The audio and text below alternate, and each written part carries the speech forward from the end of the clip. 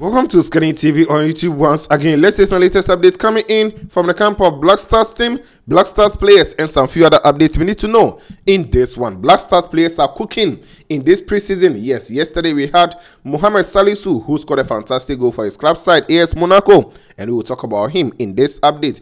Jordan Pure Ayew in the ninth, so I'll say this morning. Yes, he also scored a fantastic goal for his club side, Crystal Palace, as they played against Wolverhampton Wanderers, and now he has scored in back-to-back games for his club side. You see, Jordan Ayew is in some fantastic form. Well, we will talk about him in this update.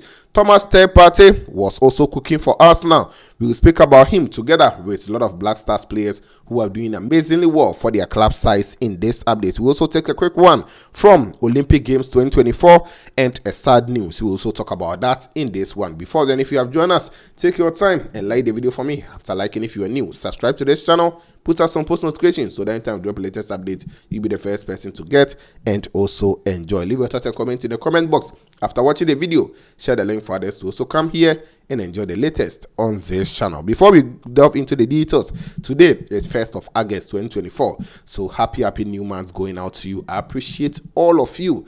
Every time you have time to come and watch the video, you like, you share, I really appreciate you. So, guys, thank you for always watching, and I wish you all the best in this month. Everything you are doing, we pray that everything is going to go on well in this month for you. Happy, happy new month going out to you. Now, quickly, let me begin from here. I also give shout out to all those who commented under the last video. So, stick and stay with me. Yesterday, Feyenoord they locked one to it, AS Monaco, and it was an interesting game. See, Mohamed Salisu was the highest rated player in the game, and he did well. Salisu has not really been consistent with the Black Stars team. So yesterday, getting a good game, I was really excited. I watched about 15 minutes of that game, and Salisu was just solid, making one clearance on the line and a whole lot of stuff for his club side. AS Monaco was a great to watch. First goal was scored by Eleni Kena, yes, by AS Monaco, when Maripan also added a second. Mohamed Salisu scored on the 67th minute for his club side to make it three in the game.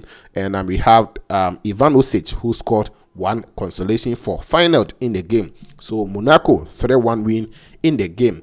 Salisu played 89 minutes, had a rating of 8.7, one goal for him as I said, one clearance on the line. He also made five clearances in total in the game. Block shot was one from the defender. He made seven interceptions, three tackles, 91 touches, completing 58 passes out of 69 and some few other stuff that he did in the game. I don't really want to go through all those ones. It's going to kind of like, you know, um, delay here. But Salisu was solid at the back. Yesterday, Monaco played three back and he was playing in the left role or the left center back, you know, yes, kind of.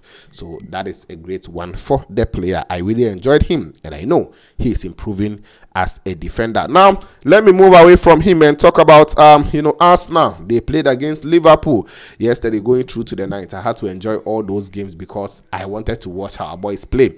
Yes, it was Liverpool 2, Arsenal 1, and the first goal was scored by Mohamed Salah on the 13th minute. Fabio uh, Carvalho also added a second on the 34th minute, and Arsenal got the consolation through Kai Havertz on the 48th minute. Second half, no goal for either side, and it ended just like that.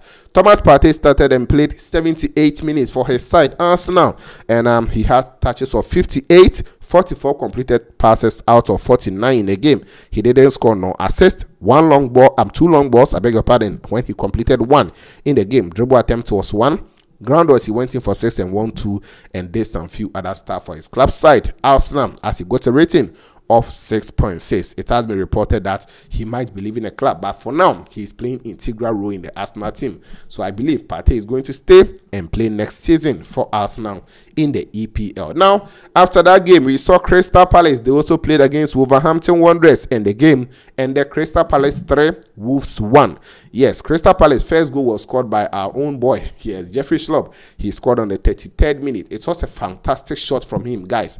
Go and watch that goal. Jeffrey Schlupp is really amazing. But I don't know why. I don't think the player will play for Ghana because since 2020 that he decided not to play, it has been back and forth, back and forth. I don't know. But Jeffrey Schlupp was fantastic yesterday again. He scored in the last game. Yesterday he scored just like Jordan Ayew. Jordan added the second on the 48 minutes. Jordan came on after the first half, so 46 minutes that he started playing. Two minutes into the game, he scored the second goal for Crystal Palace. Then we also had um, Bueno, who scored one goal for Wolves on the 98th minute. And Agbinone scored the third goal for Crystal Palace on the 90 plus 4.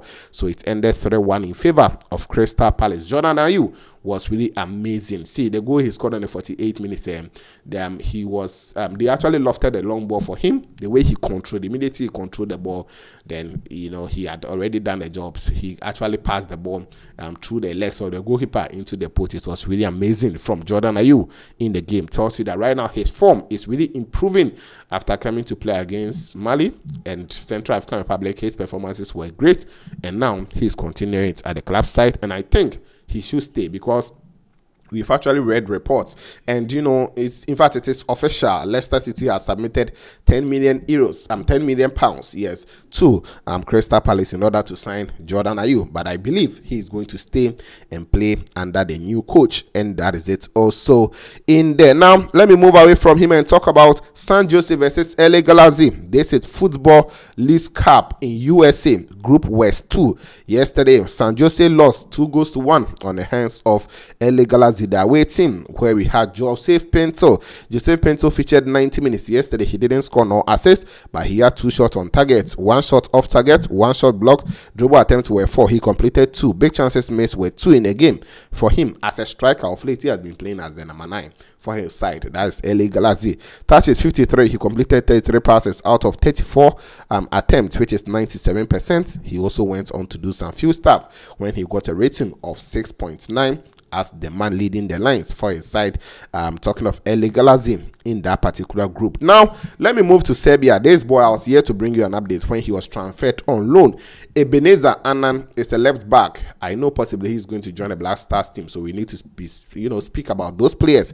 Ebenezer Annan joined, um, you know, Crvena Zvezda, that is Red Belgrade and after joining them permanently, the player has been loaned out to OFK Belgrade in Serbia there. And he has so far played two games for them. His performances has been amazing. They first won against Mladost by two goals to one when he had a rating of 7.6. Yesterday, he also played, last two days rather, yes, he played and had a rating of 7.2 against Tekstilac when he they won by two goals to one. And that is it also for him. Now um finally let me talk about um this one. Then we move on. Okay let me talk about some other news coming in from olympics. Yes let me look at ghana's 4 by 100 team. Yesterday they trained in paris with the botswana team. And after training they had to show their dancing skills you know. Botswana wanted to show ghanaians that they know how to dance. But ghanaian team they said no they will show them how to dance. Let's enjoy this short video after that, we'll talk about the sad news and I'll give shout out and we'll be out of here.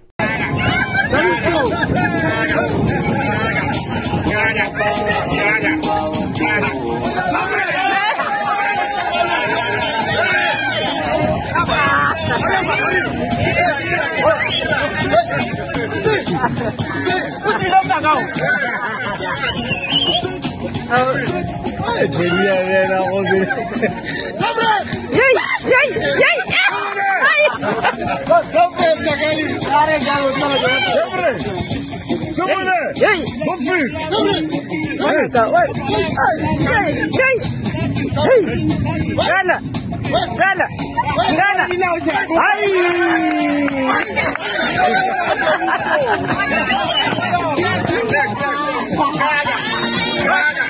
Grana!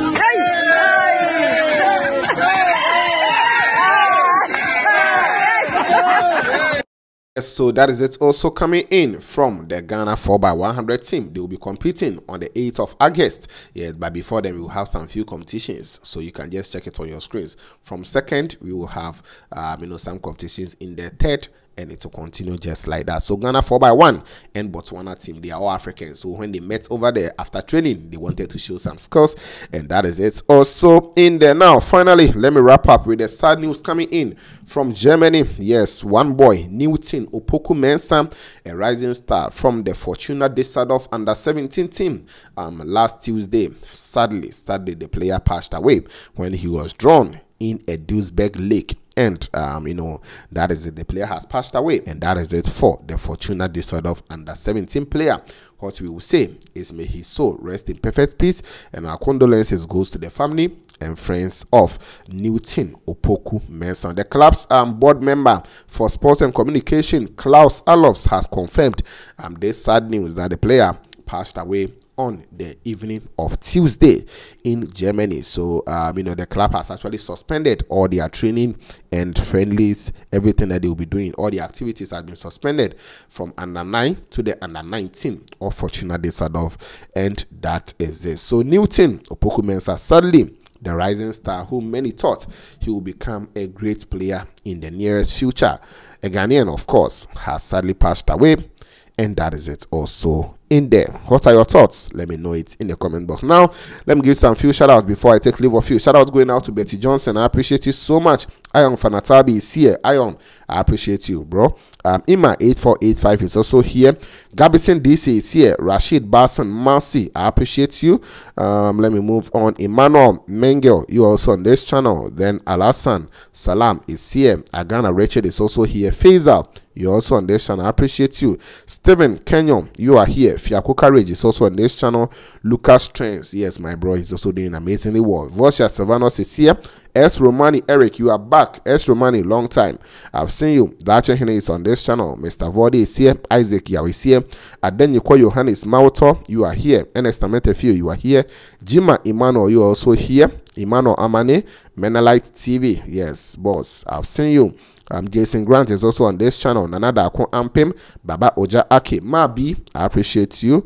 Um, who again? Who again? Robert Shaggy is on this channel. Prince Ahiale is here. Emmanuel Hayford is here. Uh, Middle, the Swampy, yes, Middle, bro. What's up? I've seen you. Ahmed Tijani, um, Nathaniel Diagram, okay. Dacha Hine, Barak 6365, you are also back. Um, Bangalore City, you are also here. And Mr. Kwame Edujanfi is also on this channel. I know most of you guys will come and watch and comments under the last video but these are the ones i have under the last video as of the time i'm recording this one around 10 30 a.m don't forget to always like the video for me subscribe if you're new put out some post notification for more updates on this channel due to Osikani tv and of course we shall meet later